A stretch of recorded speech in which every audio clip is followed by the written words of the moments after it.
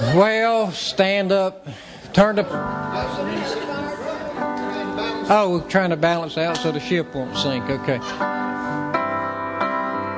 When the roll is caught up yonder, I'll be there. You gonna be there?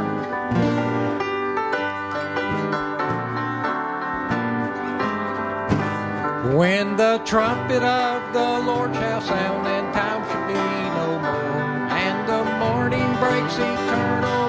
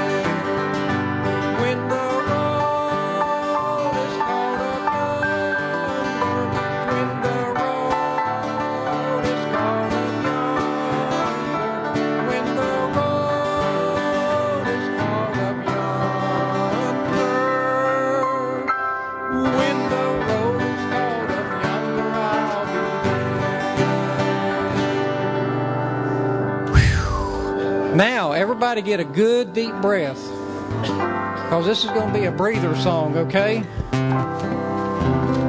It's uh, just over in the glory land. Y'all remember that song? Yep. All right.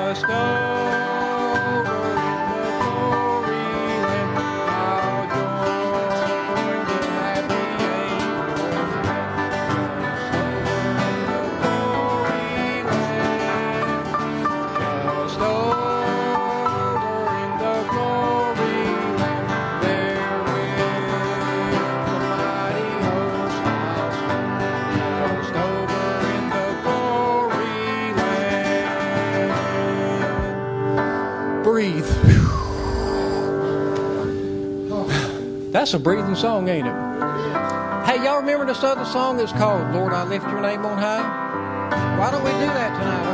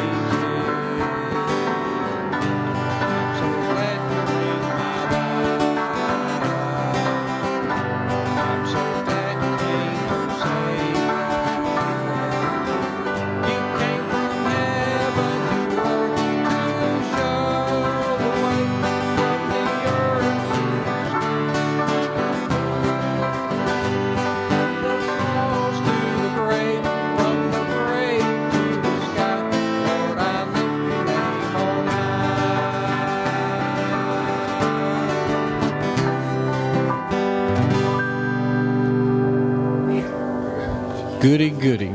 Hey, all right. Well, there you go. The little eight year old just gave her life to the Lord, and I tell you what, the devil was mad tonight. Ain't that something? And we old grown folks.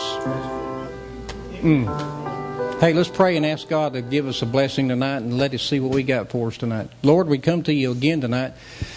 Once again, thanking you for your goodness, your mercy, Lord, and uh, we've had a great day with you, and we want to continue that. And Lord, we want to tell you right now that we do love you, and uh, we want to thank you for the souls that you saved today, Lord. We want to thank you for all your blessings that you give to us, Lord. We want to thank you for the folks that come out here tonight.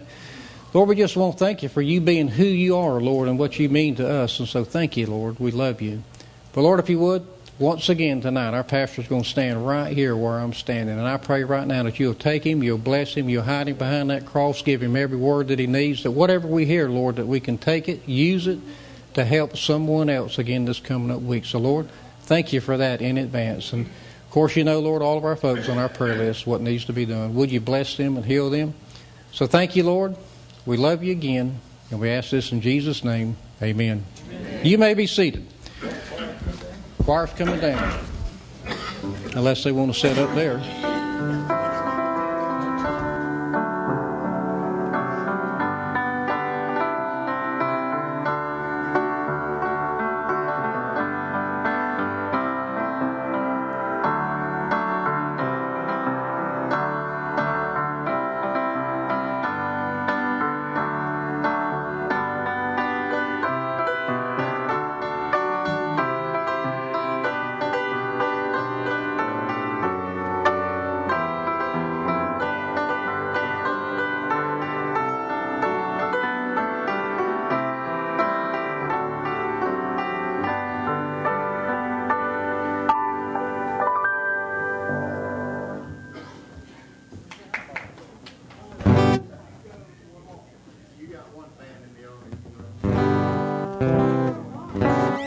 Said, Poppy, are you a star? I says, No, baby, I'm not a star. She says, You're a star to me. So that's the only star I need right there. And the one in heaven, of course. For y'all that know me, I'm Tommy Davis. And some of you don't, I'm still Tommy Davis. okay? And we're going to sing this little thing I, I wrote, uh, see, about seven, six or seven years ago. I prayed a long time for God to help me write a good song, a gospel song. And uh, it's kind of, I guess you could say, uh, it worked out till I got saved just about like this song is. Okay? Called No Into Heaven.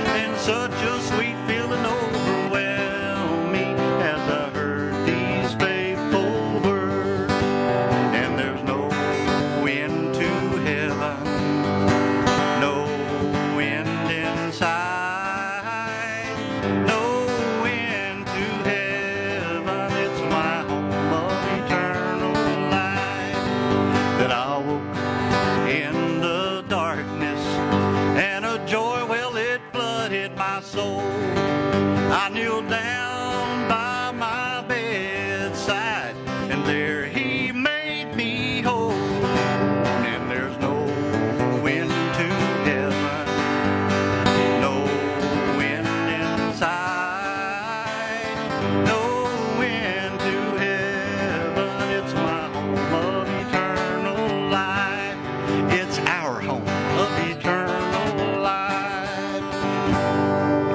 Sorry about the picking.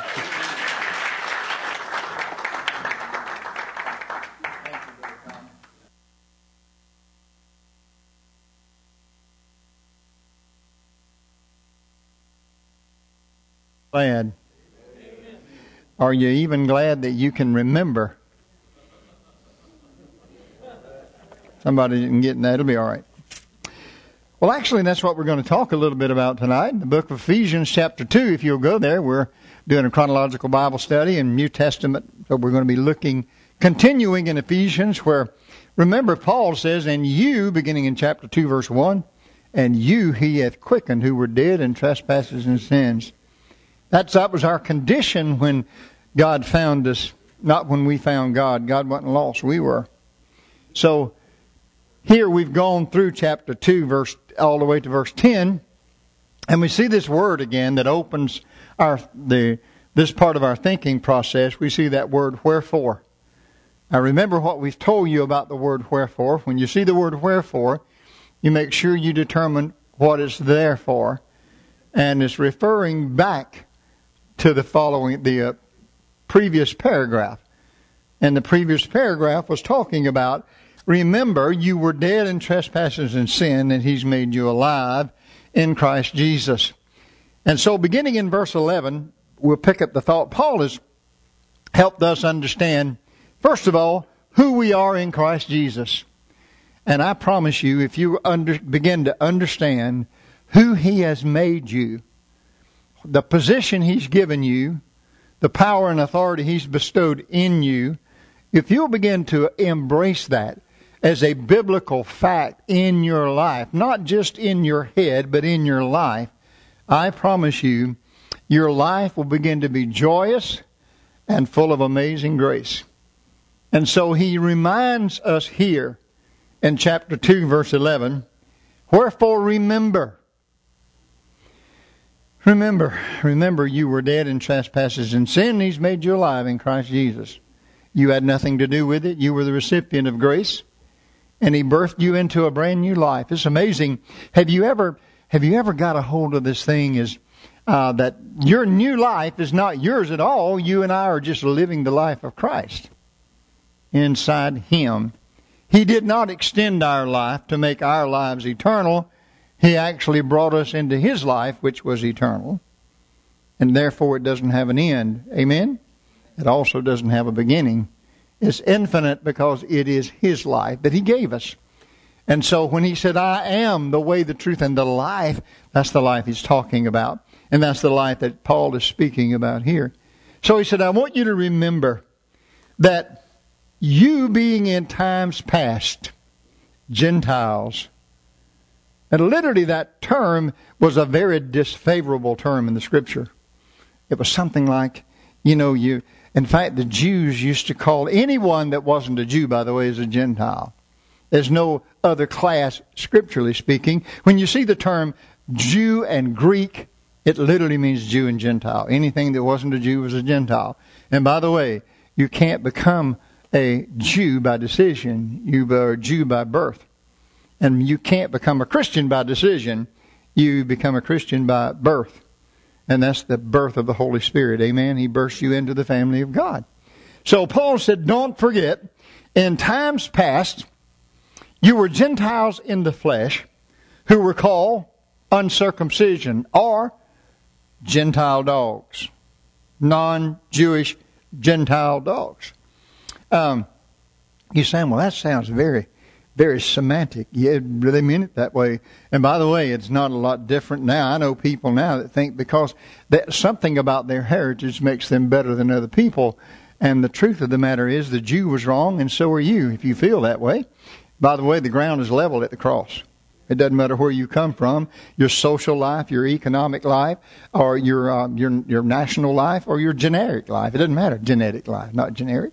So therefore, he reminds us in times past, you were Gentiles or the uncircumcised in the flesh, and uh, he says, and that were called the circumcision, those that call you in the circumcision in the flesh made by hands. Now, he's saying their circumcision, the Jew circumcision, was an act of human humanity, although it was keeping of the law. The law demanded that the Jewish Jewish man be circumcised. And it was an act of a covenant that God made with his people. And we're going to speak a great deal about covenants because it's an amazing thing that we don't understand that the reason we are Christian today is because of a covenant that God made with His Son Jesus Christ. And we're included in that covenant. A covenant is, is an agreement, a deal, a testament. We have two covenants in the Bible, at least two.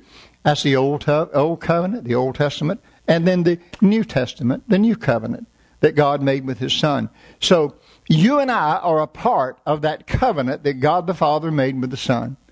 And literally, He sent the Son to be the purchasing, purchasing agent, and he sent the Holy Ghost to be the earnest of the purchase made and seal that purchase until the day of redemption through the Father and the Son. And we are the instruments that God closed up in that deal. He simply said, I'm purchasing you with the blood of my Son. I'm sealing you with the Holy Ghost until I come back to get you, or either I call you home.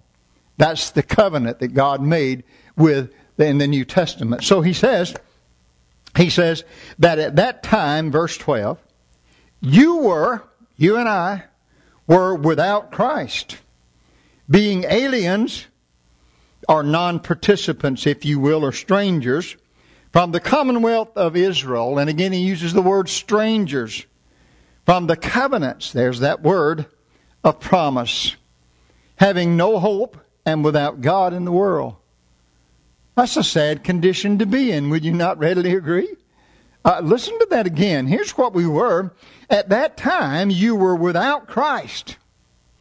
And here's the condition of anyone without Christ being aliens from the commonwealth of Israel and strangers from the covenants of promise, having no hope and without God in the world. What a you know, I read that this afternoon again, and I thought, man, what a sad commentary, but what a, an amazing truth. That's who we were. That's what we were. That was the condition we were in before we met Jesus Christ. I want you to look at that word covenant again because someone asked me recently, there's a big thing today about oh, know, marriage isn't a big deal. You know, you just kind of live together and, and do. Let me say something to you. If you're a believer, I, I need to say something to you so you get it. Marriage is a covenant that a man makes with a woman, just like God made a covenant with Israel, that God made a covenant through Christ with the Christians. Marriage is just as important to believers as before there's there's there's any kind of intimacy as it is with God with the with his son. We can't become a Christian until we agree to God's covenant. And I'm convinced that if we understood that whenever people stand before God and they make a covenant together, until death do we part. Now, someone asked my wife one time, Have you ever thought about divorce? She said, Divorce? No. Murder? Yeah. So, But we're still together for whatever the reason because I'm assuming she hasn't determined to spend the rest of her life in prison, except with me. So, but this covenant thing is so important because unless you understand that God, God has made a covenant, and that's why we are recipients of, of the grace covenant that God made with His Son Jesus Christ. So this is why we need to know that any time there's any kind of there can't be a godly relationship under any condition without a covenant. God made the covenant with Israel. There could not be any any relationship between Israel and God until that covenant was filled. Between Jesus Christ and the church, there could not be a relationship with Jesus Christ until that covenant was fulfilled. That's why it's so important. I've even I've even had people say, "Well, I believe uh, I believe I believe marriage is just a piece of paper." Well, God don't think so. Let me say what He says about it. He says that it's called adultery or fornication without a marriage license. No matter what we might change our mind about, God's not going to change His mind because He made it plain. And the truth is, now in some countries, Today, you could do, you can't do that in America because in America, the law is you're to have a license and a marriage, a, a ceremony before you have a marriage. I know this is really boring because y'all already agree with it, but you hadn't decided if you agree with it or not. But the truth is, we don't have to agree with it to make it try, make it true. God already made it true. Amen. So it's important. The covenant relationship is vital for us to understand because we have a co- God made a covenant and we're part of that covenant. This is why I can have a relationship with Jesus Christ. I can have intimacy with Jesus Christ. You know why? Because of the covenant that God made with His Son. And He continued with this. We were without hope and without God in the world. But, verse 13 now, in Christ Jesus, you who were sometimes afar off are made nigh by the blood of Christ. The covenant was fulfilled on the cross when the Lord Jesus Christ said, It is finished. And the blood was applied, was spilled, was made available for the cleansing of all sin. And then when we were participated in the act that God gave us by He giving us faith so that we could trust His Son by grace through faith and birthed us into that family covenant so that we could have an intimate relationship with Jesus Christ. And I want to tell you something. Any person who claims to know Jesus Christ as Lord and you're not you don't have an intimate relationship with him, I can tell you there's two two of the possibilities. Number one, intimacy is an absolute must in the covenant relationship because a casual relationship won't work in a covenant. It means commitment.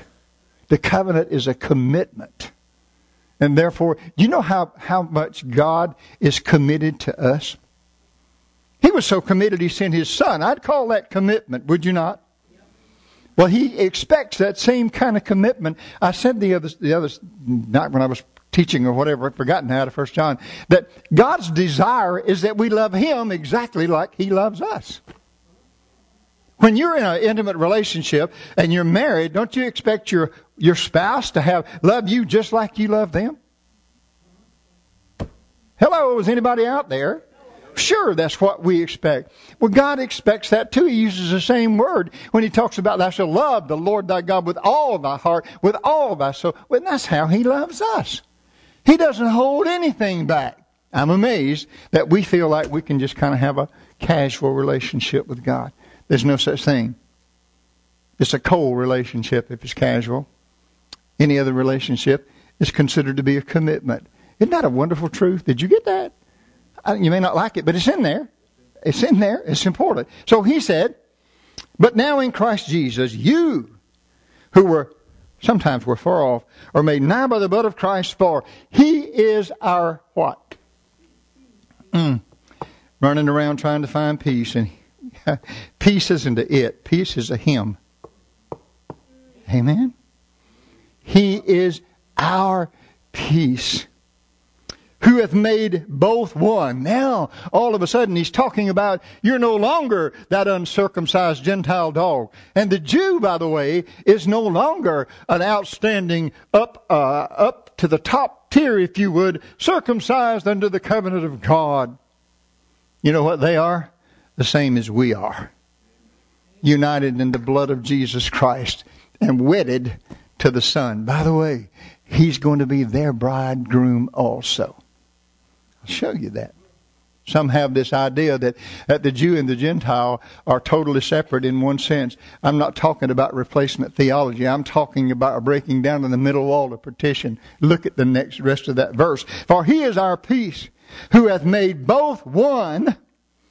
No more Jews, no more Gentiles. That time's going to come, and already is.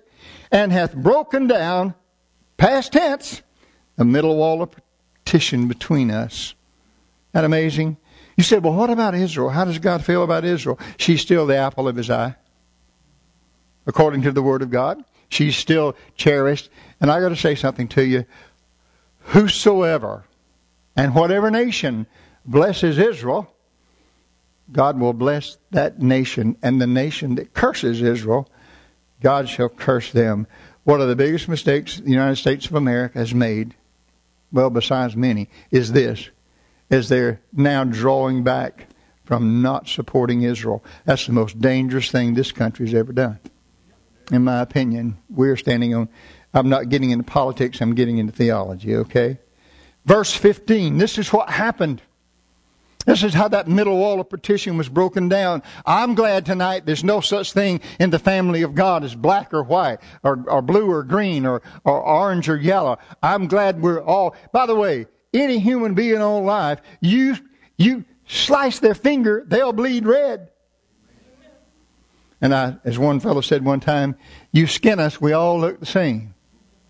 Maybe we need to skin us, at least for some people. God help us. And it's, it's an amazing thing. I know when we first came out here on Highway 20, I had a had a fellow in, in the church, and I'm not being critical. I'm just telling you how, how easy it is for people to get hung up. In fact, we attempted to to to get a, a church started over in Gadsden County years ago, and uh, they we went and met with some Christians and a couple of pastors, and and when they found out that we were interested in trying to get someone to start a Bible believing black church, I'll never forget what I was told that night in that meeting. They said, "Well, no, we're not going to do that." And I said, "Well, why?" Said, well, we don't believe black people are going to heaven. This is a pastor that said that, or claimed to be a pastor. And I said, you know what? I have trouble believing you're going.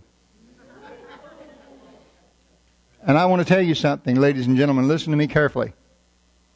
There's no place in a Christian's life, no place in a Christian's life for racism of any kind.